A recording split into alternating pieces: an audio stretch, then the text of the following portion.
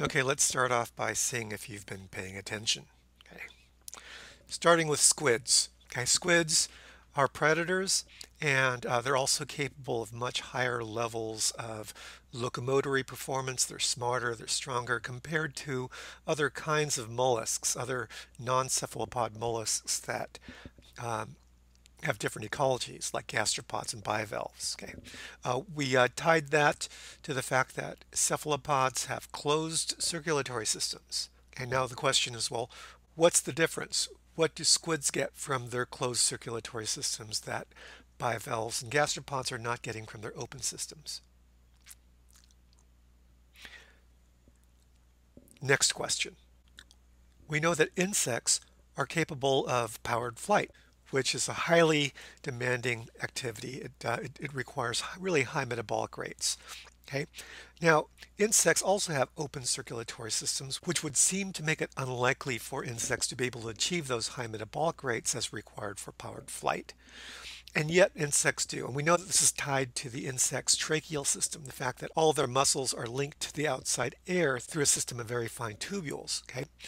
And so the question is, well, what is it that's provided by the tracheal system that's not being delivered by the open circulatory system that allows the insects to elevate their metabolic rates to the point where they're able to actually get airborne and be really, really good flyers. Okay. The answer, of course, is oxygen.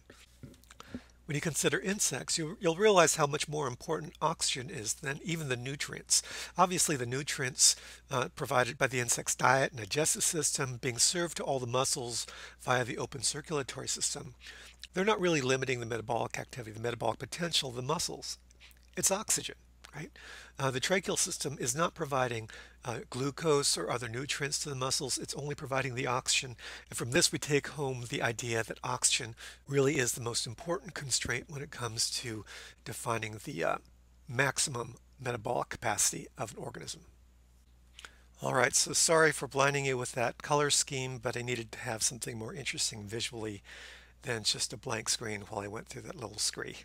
Okay. Um, now, in terms of how oxygen gets most effectively delivered to the tissues uh, requires us to consider the importance of respiratory pigments.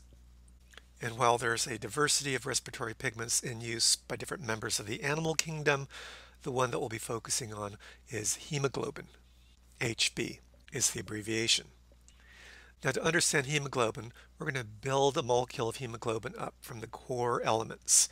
Uh, first of all, in order to interact with oxygen, in order to attach and detach to oxygen, a globin-related pigment requires an atom of iron. Other kinds of organisms might be using other metals. For example, copper can be used in some of the arthropod uh, pigments, but iron is the pigment that's being used in the globin family of molecules. And so this is what we're going to be focusing on. Okay. Now metals are elements that are relatively loose with their electron configurations. They can take on different oxidation reduction states in which they're able to adhere more strongly or less strongly to other things like a molecule of oxygen. Okay. Iron is doing exactly that. And our iron atom in each globin chain is being held in place by this thing called a heme ring.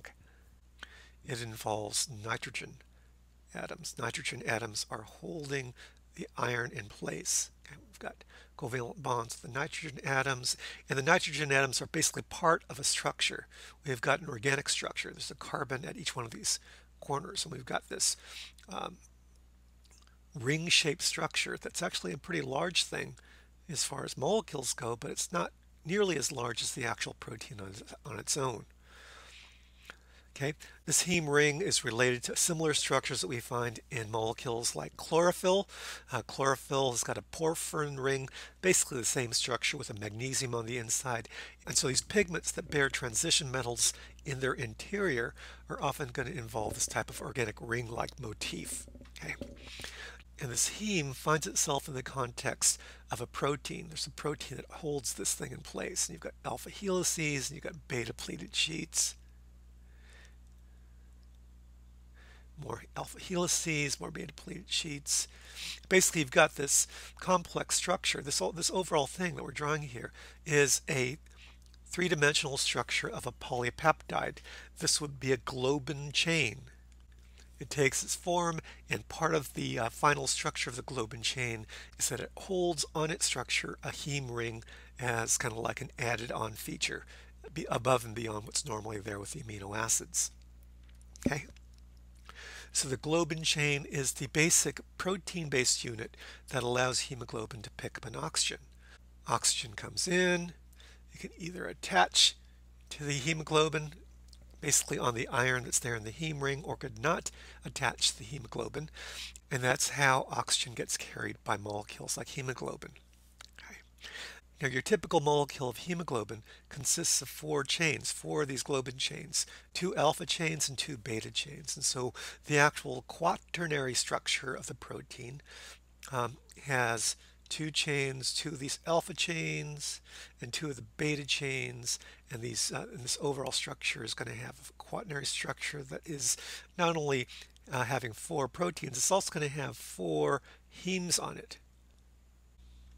And so this elaborate structure of hemoglobin can carry as many as four molecules of oxygen, one here, one here, one here, and one here. It can carry three, it could carry two, carry one, or none at all. And hemoglobin's trick is its ability to adhere to oxygen and hold on to it very tightly under some circumstances and not hold on to it at all under other circumstances. Okay. We call the state of oxygen carrying by hemoglobin the saturation. Okay.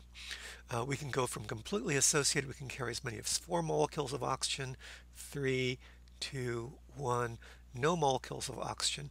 And so oxygen saturation ranges from zero to four. Okay. Now when hemoglobin goes in the upward direction, when it goes from a lower state of saturation to a higher state of saturation, we would call this oxygen association. While we call the opposite process when oxygen is being unloaded from the hemoglobin, we call that dissociation.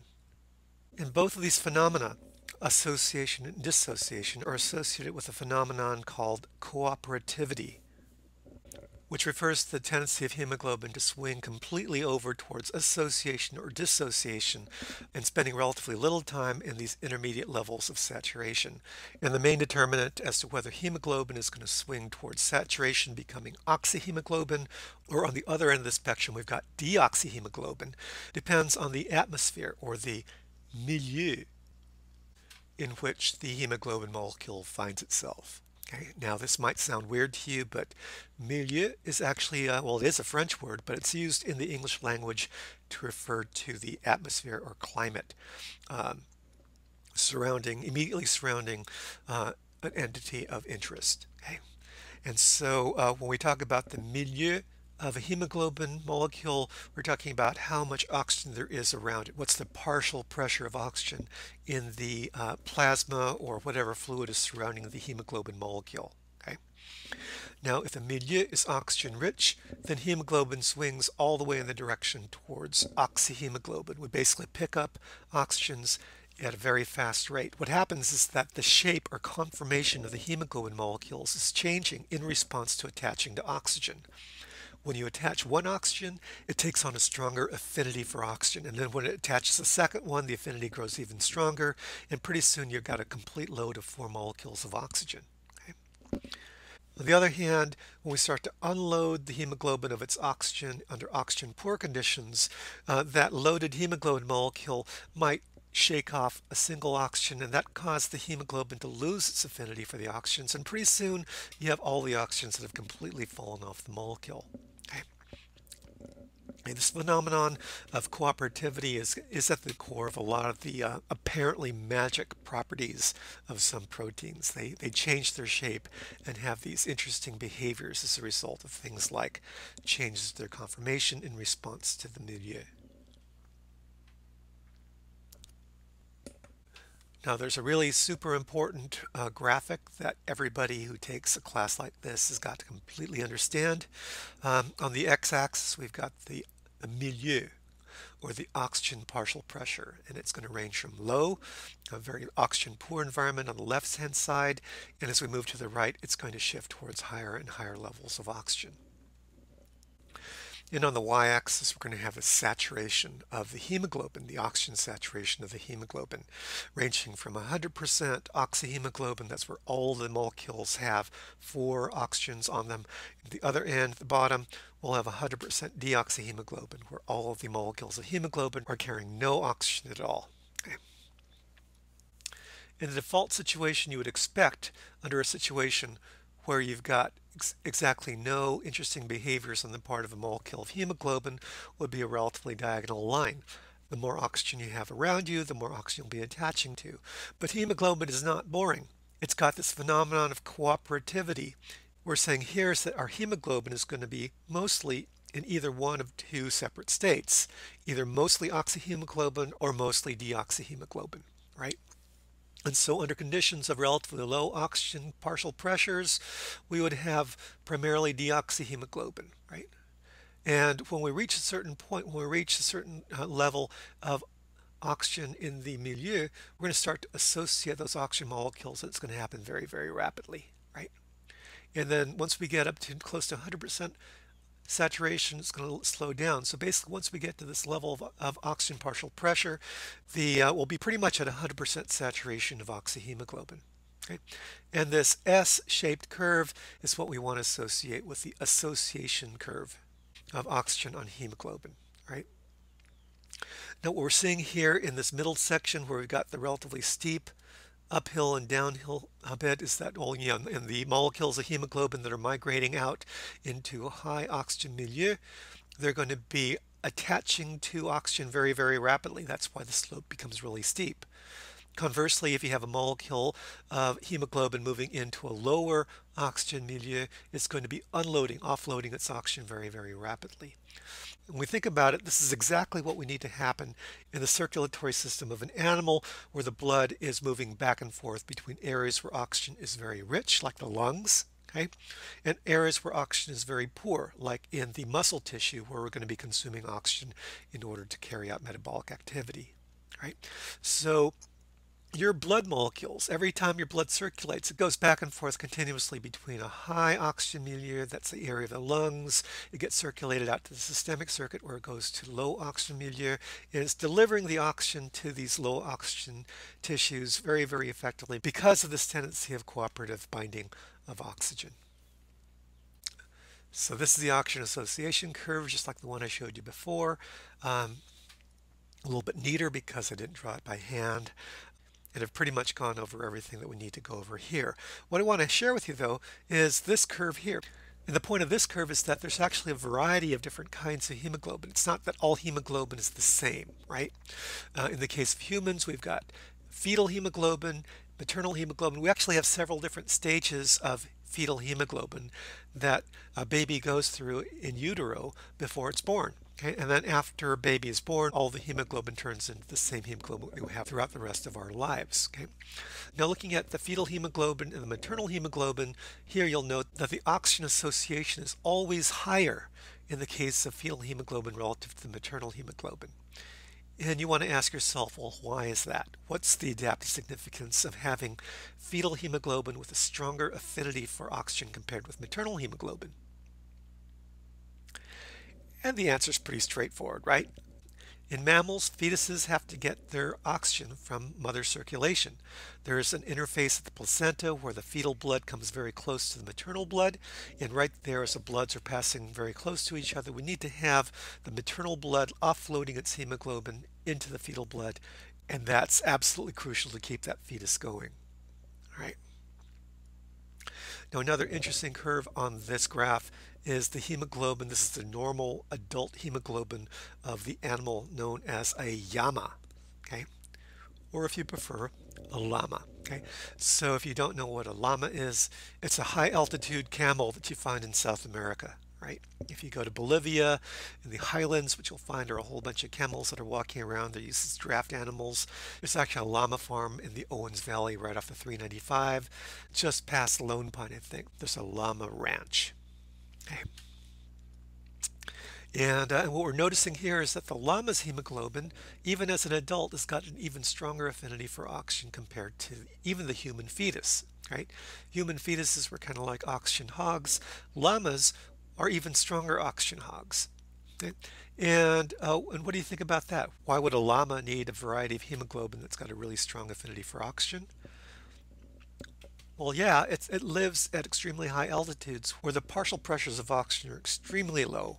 Not that it represents a lower percentage of the air, it's just that there's far less air to begin with. Okay, 21% of air at a density of 50% of where it is at sea level is still giving you only half the oxygen compared to the same composition of air at sea level. Okay, and living in such an oxygen stress environment means that a llama is going to need all the help it can get to acquire oxygen from its world. The last thing to note on this graph is the myoglobin, the, uh, the blue line at the very top, which has got the strongest oxygen affinity of all the molecules that are there. The difference is that hemoglobin is a molecule that circulates. Myoglobin is a respiratory pigment that stays put. It stays in the muscle cells or in the fat cells. Remember brown fat? Okay, it stays right there in the cells into which the oxygen is going to have to be loaded from the hemoglobin, from the hemoglobin that's circulating, right? Myoglobin is a different molecule. It's actually related to hemoglobins, and this actually brings up another interesting story. I like to think of myoglobin as the original oxygen harvesting pigment. Okay?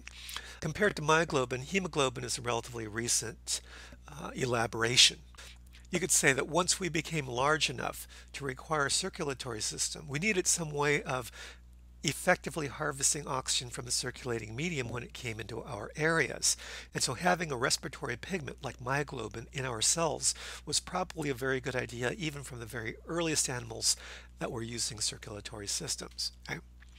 And so if you sort of visualize the original gene for myoglobin, somewhere on a chromosome. So this is a chromosome someplace in our ancestral animal. Um, maybe there's at some point a gene for myoglobin. Now from this starting point we have the development of what we call a gene family. And this starts off as a relatively rare mutational event in which we're not really making a change to the myoglobin gene, we're just duplicating it. We're making two copies that sit in tandem array. So we've got a tandem duplication of myoglobin. So we've got two identical copies, A and B, sitting right next to each other on the chromosome. Now once we have that first tandem duplication, we basically create a very tiny gene family. That tandem duplication opens the door for uh, further events that make it considerably easier to increase the size of our growing family. And this occurs because of the events that occur during meiosis, the formation of a tetrad and the occurrence of crossing over. Now normally the uh, chromosomes line up perfectly, A with A and B with B. But because we've got identical genes, the cells forming the tetrad will make an occasional mistake in which we might attempt to pair up the B gene of one chromosome with the A gene of the other chromosome.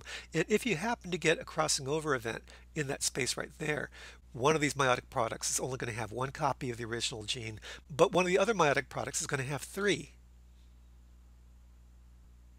Now, if that chromosome carrying three duplicates of the original gene becomes a standard version of the chromosome that we have in the species, our gene family, our, our globin gene family has grown to a grand total of three copies. Right?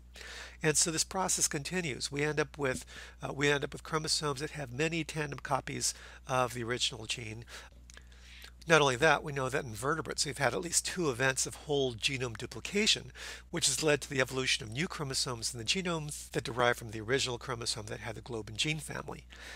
Not all those extra chromosomes have been kept over the course of evolutionary time, but some have. Okay, And so in the case of modern vertebrates, we actually have two globin family of genes that are exclusively hemoglobin genes. These are the gene families that contain things like the alpha and the beta globin subunits that go into the structure of an adult human hemoglobin, but it also gives rise to other things like gammas and deltas and epsilons. I'm not doing these things in exact uh, in exact order. I don't remember what the orientation is of the globin genes in the hemoglobin family of the human chromosome. And fetal hemoglobins are different from adult hemoglobins because they're being put together with different basic polypeptides. Once we're born, we're pretty much only expressing the alpha and the beta, but, but, but while we're fetuses, we're using these other genes in the globin gene family, right? So in addition to these genes that are functional at some point in the development of an animal, we also have in typical gene families, we also have these genes that are that are never turned on. They're basically extra copies that are not needed at all. They become places that can accumulate mutations with no penalty whatsoever, and we call these pseudogenes, which we usually uh, symbolize with the Greek letter psi, psi. Okay, I think it's a pretty cool thing to realize and understand why we have these pseudogenes, right? We've got this history of gene duplications and the creation of a fairly large gene family. And some of those extra copies of genes became really important parts to the development of the animal, right? Um, the Korean geneticist Susumu Ohno uh, was the first person to suggest that this uh, process of gene duplication was an important feature in the evolution of diversity and complexity in, uh, in the history of life. Okay, and we now know that to be exactly true, right? Um, these gene families they grow in size as a result of random events of tandem duplication and genome duplication. We don't plan the futures of every one of these genes. Some of them may become useful and some of them might become totally trash. Now our hemoglobin molecules get loaded into red blood cells and the red blood cells pass through capillaries. They come very close to some type of respiratory medium. Okay, and uh, in the case of fishes, you might remember from our laboratory we looked at the basic structure of that countercurrent exchange that occurred in the fish's gills, right? The fish's gill filaments are flared out when water is being pumped across the capillaries. The capillaries themselves are acquiring oxygen as they pass from one edge of the gill filament to the other edge of the gill filament. That's the part, that's the part right there where we have water flowing in the opposite direction. Water from the mouth cavity is passing across the gill filaments all on the way to the outside of the fish through the operculum. Okay. And it's at that juncture we've got the water flowing in one direction, passing really close to the, to the blood, flowing through the capillaries, and as the capillaries are flowing in this direction to the left, we're going to be seeing that blood become progressively more oxygenated. And so by the time we get to the front edge of the gill filament and carry that blood back to the gill arch, it's going to be fully oxygenated. The entire length of this passage, the entire length of this countercurrent exchange, uh, is only the width of a single gill filament, less than a millimeter overall. And yet that's the distance that's required in order for us to get very effective oxygen transfer from the water, from the ventilating water, into the blood. Okay. Uh, presumably wouldn't work nearly as well if the blood and the water were flowing in the same direction. Now, one mistake that a lot of people make is to try to compare air breathing with water breathing. Because if you're a fish breathing water, you're kind of limited to the total amount of dissolved oxygen that's there in the water that you're swimming through. And dissolved oxygen is never going to reach the same percentages we find in the composition of air, right? Air today has got 21% oxygen. There's no way you could make a solution of oxygen in water, that would be 21%. Aqueous solutions become totally saturated with oxygen at a much, much lower level. But that doesn't mean that air is necessarily that much better of a medium to be breathing relative to water, right? Think about the amazing things that a swordfish or a marlin can do. It's metabolically active. Tunas have incredibly high metabolic activity and they're breathing water. Okay? Saying that the oxygen content of water is less than 1% compared to 21% in the air you don't want to be saying that. That's not a fair comparison. Okay? When we breathe air, it's really a different story because we've got a respiratory surface. This might be the, uh, the surface of the alveolus. And, and on this side, we'll have the air space, all the air that's contiguous with the outside world because we breathe the air in from the outside. And then we'll have the capillaries that are running on the inside of this, right? So the capillaries are over here. And the red blood cells are tumbling along, tumbling along in this pulmonary capillary. So we're faced with the task of having oxygen that's there as one of the components of the gas in the mixture inside the alveolus to get into the red blood cells they'll be attaching to oxygen. Now just like in the airspace of a leaf, we require a wet interface for the exchange of gases. We require a wet interface on the interior surfaces of the alveoli in order for us to get gas exchanges across that surface as well right? Oxygen from the airspace of the leaf has got to go into solution in that aqueous layer. And then once it's in solution over here, it can diffuse into the spaces in between the surface of the alveolus and the uh, blood vessel. And then we go across the endothelial lining of the blood vessel, the capillary, it gets into the plasma, and from there it gets into the red blood cells where it attaches to the hemoglobin. Okay, And so this traffic of of gases goes from the airspace into the aqueous layer uh, diffusing into other aqueous layers, diffusing across into another aqueous layer, and then going into the aqueous solution inside of a cell where it gets picked up by the hemoglobin, and that's the pathway of oxygen. Okay. Now, one of the principal determinants of how rapidly this oxygen is going to be moving from the airspace into the aqueous layer. Um, one of the determinants here is going to be the total partial pressure, the total concentration of oxygen that we have inside of this airspace. Okay, so if this is high, if we have high O2, we're going to get a lot more rapid uptake of oxygen into the uh, alveolar lining. Uh, we'll have a much more rapid uptake into the hemoglobin molecules, ultimately in the red blood cells in the pulmonary capillaries. On the other hand, if the airspace inside the alveolus had a much lower concentration of oxygen, if we had a lower percentage, that's going to result in a lower rate of oxygen uptake. And so this is going to be the starting point for our comparison between the respiratory systems of mammals and birds because there's a real significant difference between mammals and birds in terms of how able they are at loading the air spaces in their lungs with air mixtures containing higher versus lower partial pressures of oxygen. Now we're going to start on the familiar side with the anatomy of the mammalian respiratory tree. And so what we have here is a photograph of, uh, of a rubber casting of a pair of human lungs. Okay? You know, the morbid story behind this picture is that at some point somebody had to die. And, uh, and their corpse was donated to science. And what they did with this person's lungs was, was that they filled the lung spaces with latex, with rubber. And you basically pump in as much rubber as the lungs will hold, and then you uh, allow the, uh, the rubber to solidify. And then you put it into some kind of solution that will melt away the, uh, the, the, lung meat, uh, leaving the rubber behind. Okay. And, uh, and what, we're, what we've done here is we've shown uh, like outside of the tan box We've got all of the air spaces in the lungs in full glory. And on the uh, and inside the box, we're seeing the basic structure of the respiratory tree itself. How the bronchi split into bronchioles, splitting into even smaller bronchioles, eventually terminating in some type of alveolus. And so again, we've got the trachea, which is the windpipe that connects to two bronchi, and the bronchi uh, then move out into the lung area where we've got bronchioles splitting up further and finer into finer and finer and finer spaces. Basically, this is the uh, this is the bulk of what we have in the case of your typical human lung. Now, one thing to note about the mammalian anatomy of the respiratory tree is that the air comes in and out of the lungs the same pathway. Basically, air goes in, down the trachea, out the bronchi, out the bronchioles, out this way, and then it goes back out in the same pathway. But it's, it's basically an in and out, in and out sort of thing as we breathe air, right?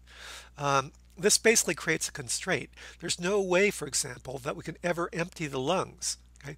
The, uh, the lungs require at least some residual volume because if we were to collapse the lungs entirely, if we were to get rid of all the air spaces in the lungs, we would never be able to fill our lungs again because it would be so hard to break the surface tension inside the alveoli. We do that only once in our lives. It's called the very first breath. And after you fill your lungs with air for the very first time, uh, from that point forward, your lungs are going to be retaining some air in them at all times for the rest of your life. Now, as a consequence of this, uh, in and out circulation. We're never able to put freshly ventilated air in the alveoli, or for that matter, even in most of these really fine bronchioles closer to the outside portion of the respiratory tree. At most, we're typically ventilating between 30 and 60% of all the volume that we have in our respiratory system. With a normal breath, you're probably ventilating only 30%.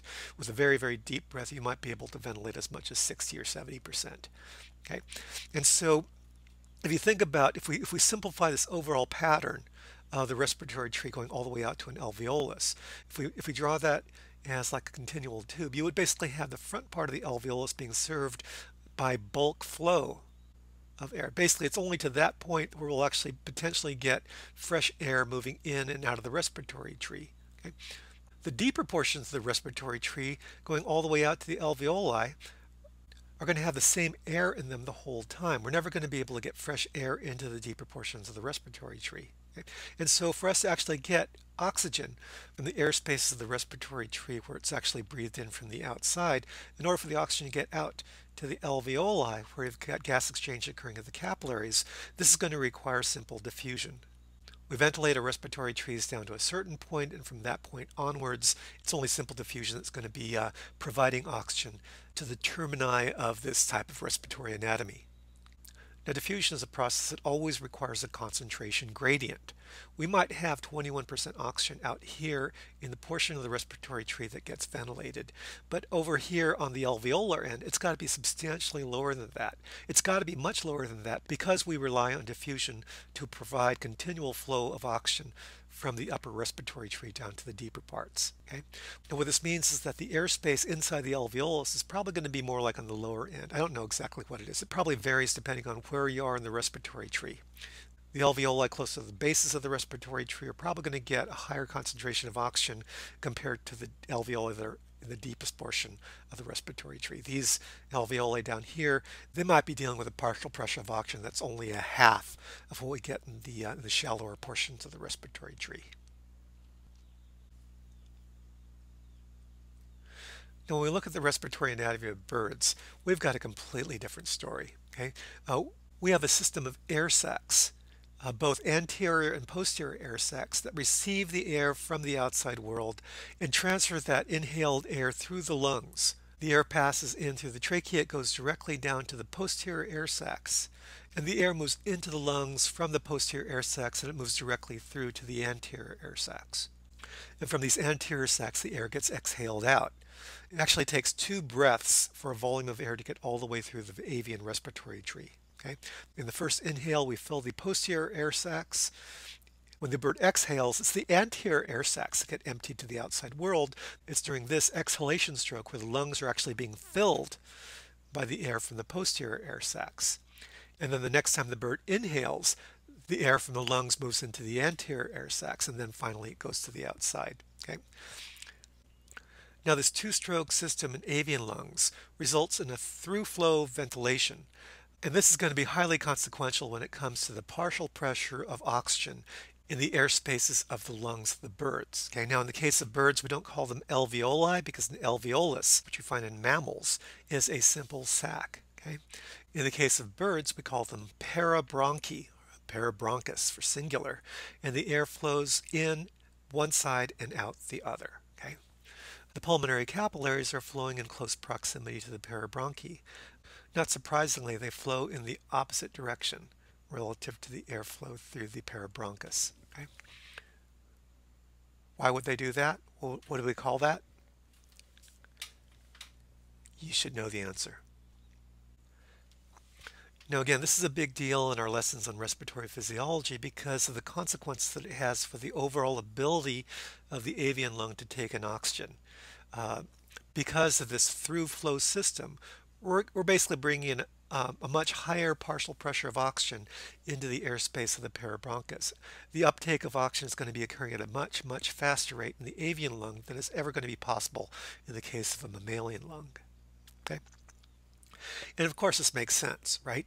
Most birds are capable of metabolic activity, powered flight, that is not achieved in any of the mammal species. And not only that, there are lots of species of birds that are capable of, of flying, even at those high altitudes where the thinness of the air would make it really hard to stay aloft, as well as making it really hard to access the oxygen that's there. Let's take a look at the respiratory tree of a typical bird. This is a duck. Okay, and uh, in the top picture, what we've done to this duck is kind of the same thing that we did to that poor guy in my first picture of a respiratory tree. We pumped up its respiratory tree full of blue rubber. Um, only in this case, we basically had to push in a whole lot of rubber. We had to push in a whole lot of that blue latex because we're filling not only the bronchi and the parabronchi of the lungs, we're also filling those anterior and posterior air sacs. And so the posterior air sacs go all the way out to the butt end of the bird. And you can see the anterior air sacs, those blue spaces. You have quite a bit in the thoracic cavity of the bird, and you also have quite a bit in specialized spaces that occur in the neck vertebrae, right? Now, flying animal obviously is, is going to take benefit from minimizing overall body weight, and having lots of air spaces inside of your body cavity is, is definitely going to be helping there. Uh, not only that, the bird bones, even their long bones, tend to be highly pneumatized. They're uh, they're not solid, they're not heavy bones. They tend to be really lightweight bones. Most of the bones comprised of air spaces. Once you get past that shell on the outside of a chicken bone, there's a lot of air spaces inside of that. The other thing that we see in the case of bird skeletons is that in their neck vertebrae, there are these pretty substantially sized voids, spaces, that accommodate anterior air sacs. Okay? And this is not just a matter of trivia. I bring this up because somebody's always going to ask the question, how does this information play out as we try to understand the physiology and metabolic activity and maybe even the behaviors of dinosaurs? Okay. Because if you look at the skeleton in some of birds' uh, close relatives, sort of close relatives, theropod dinosaurs, uh, if you look at this T-Rex, one thing that's pretty interesting is that in the uh, in the neck vertebrae of T-Rex, we've got some pretty large empty spaces, pretty uh, pretty big gaps that would best be explained by the existence of anterior air sacs in the respiratory anatomy of the T-Rex. Okay, uh, this reconstruction basically has dinosaurs with the same type of two-stroke respiratory tree that we find in birds.